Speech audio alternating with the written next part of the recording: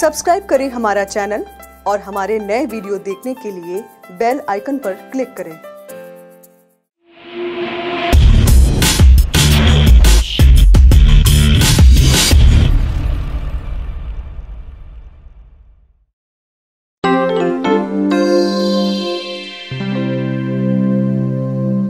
नमस्कार मित्रों एस्ट्रोफ्लिक्स dot com में मैं धर्मेश जोशी आप सभी का स्वागत करता हूँ।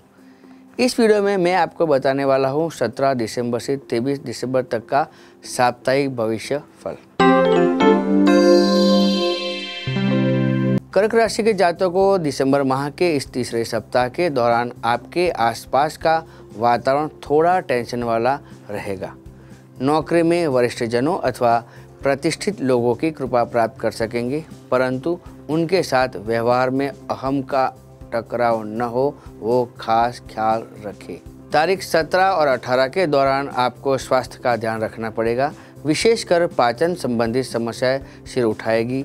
इस समय आप पर काम का भार थोड़ा अधिक रहेगा, इसलिए पर्याप्त आराम भी करना पड़ेगा।